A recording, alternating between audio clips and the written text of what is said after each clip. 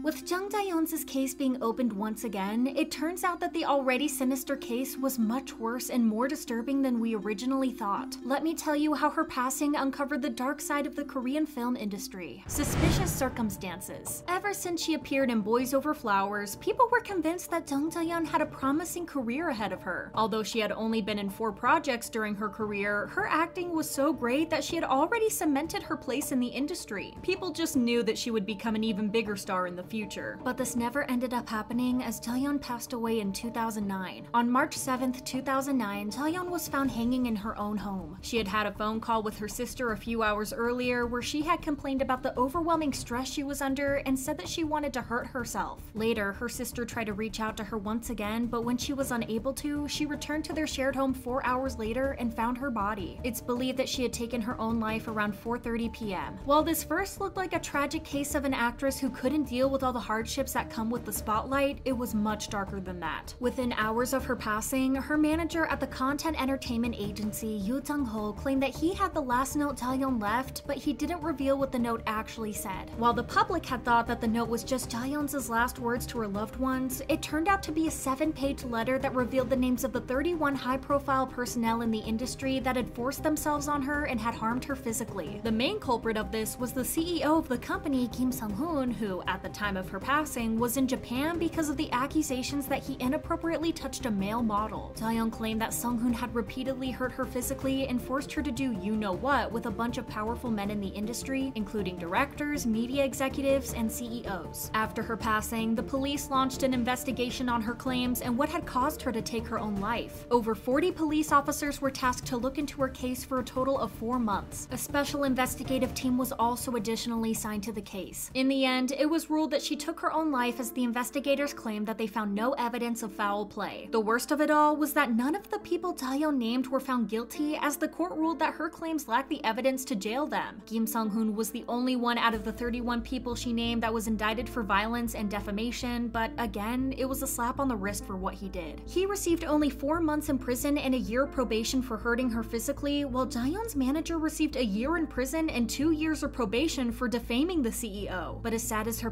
passing was, the case was ultimately forgotten and the culprits were released in a matter of months. Well, that was until 2019. New evidence. After the Burning Sun scandal blew up, people started wondering which one of their favorite celebrities were also terrible people who had just been hiding in plain sight. Everyone is aware that the industry is full of them, but this is easy to forget because of how well idols and actors manage to look like decent people. So because of the scandal, the former South Korean president Moon Jae-in ordered a thorough reinvestigation of prominent scandals scandals involving celebrities, whether they're new or old. This led to Jang Ja-yeon's case being reopened 10 years after her passing. So when the case reopened, Dispatch released a report with a lot of new facts about the case that weren't known to the public before. Like I said before, Jang Ja-yeon wrote a letter before her passing. According to Dispatch's report, she wrote the document in Yoo Jang-ho's office, and in it, she recorded all the instances where she was forced to do whatever Sung-hoon told her to do in order to get a role in a drama. She wrote, In October 2008, Kim Sung-hoon, CEO, sent me to the director of the drama Jung Myung-go at night. He had just cast Lee Mi-suk in his drama, and I was coerced into serving liquor to him in order to be cast in his drama too, and I did it. If you are wondering what would happen if she didn't comply with the CEO, her career would be ruined forever. It gets worse because Jayeon also recalls the time she was made to do you-know-what with the CEO before he started hurting her physically and verbally. She said that ever since she signed a contract with the agency, she was coerced into serving liquor in order to get roles. Taeyeon also recalls a time in 2008 when Sung-hoon made Taeyeon have intercourse with him. Another time, he got too drunk, locked her in the room with him, and hit her over the head with a bottle while also hurting her verbally. She finished by saying that she's just an actress with a dream, which is making her endure horrible things from Kim Sung-hoon. The most heartbreaking part is when she says, I'm just a weak and powerless rookie actress. I want to relieve myself from this pain. Along with the document, Dispatch also released screenshots from CCTV footage showing Jang Ja-yeon a few days prior to her passing. In the pictures, Ja-yeon is in front of the elevator in her manager's office on the night of February 28, 2009, where she had been for the past three and a half hours. On March 1, 2009, Jang-ho was seen bringing several documents with him that were submitted by Ja-yeon a day before to the MBC Drama Center in Ilsan. At this point, the two had already met for a few days, and Ja-yeon believed that her story would be shared with the world but without revealing her name. There were also hopes that she would be able to be released from her contract with Sung-hoon, so she wrote down everything that happened to her in the document. In a text conversation with her closest friend, Miss E, Taeyeon said, Yu Jang-ho told me to come into his office because he had something to tell me. He said he's preparing a criminal investigation on Kim Jong-sung. He said if I wrote down everything that's happened to me, they'd guarantee my identity would be kept a secret and they'll also release me from my contract. So I went ahead and wrote the document. But she was disrespected even after her passing. Jang-ho claimed that the document that he made her write in order to be free from the company and her suffering was just her last which greatly discredited her claims to the police. Dispatch also conducted interviews with Dahyun's family members and friends in order to see whether they saw the document as a goodbye note or not. Based on all their statements, the words in the letter weren't actually words that Dahyun had ever used, and this doesn't seem to be like something she'd do without being told to. Her older brother said, The younger sister I know didn't know the format for these kinds of documents. She had never been to a police station before. In Dispatch's report, it was also revealed that her family didn't actually want the note to be revealed to the public as they wanted to let the whole thing pass by quietly. They demanded that the note be burned, so imagine their surprise when they saw Taeyeon's letter all over the press just a few hours later. So how did that end up happening? On March 12, 2009, Yu Jang-ho burned the note as per the family's wishes, but what they didn't know was that he had made several copies of it so that he could later sell it to the press. On KBS 9 PM's news report, they said that the burned and blackened document was found in a trash bag outside of Yu Jang-ho's office. Knowing all this, how do we know who's the real villain in this case? Unexpected suspects. As much as Kim Sung-hoon is to blame for Jaehyun's passing, Yoo Jang-ho and fellow actress Lee Mi-suk were definitely just as guilty. On top of all the proof they had, Dispatch also released the last text exchange between Jang Ja-yeon and Yoo Jang-ho. In the last text Jang-ho sent her, he told her to clear her schedule as he had set up a meeting with Jung Se-ho, who was the same director that Lee Mi-suk had asked for in help in her fight against Sung-hoon. Two hours after the text was sent, Taeyeon passed away. With this, Dispatch argued that Taeyeon was used by both Jang-ho and Mi-suk for their battle against the Contents Entertainment and its CEO Kim Sung-hoon. How did Mi-suk get involved in this though? I mentioned before that Jang-ho was a manager at the Contents Entertainment before leaving to create his own company in August 2008, taking Song Sun-mi and Lee Mi-suk with him. Taeyeon was left behind, but Mi-suk ended up getting sued by the company for breaking her contract before it expired. After they sued her, they also filed an appeal and claimed that Mi-suk had been in a relationship with a 29-year-old man in 2006 that the company had paid to hide. Keep in mind, Lee Mi-suk was named as a victim of the CEO in Taeyeon's letter, which means that both of them went through the same thing. But after Taeyeon's passing, Mi-suk was investigated by the police, and she claimed that even though the two had been under the same company, Mi-suk didn't really know her. She also said that she didn't know anything about Taeyeon's documents. But in the text that Dispatch revealed between Mi-suk and Jung Se-ho, she says, Jung Do-yeon came to me crying and asked for a favor. She came after writing a document for Yu Jang-ho. There's also something about how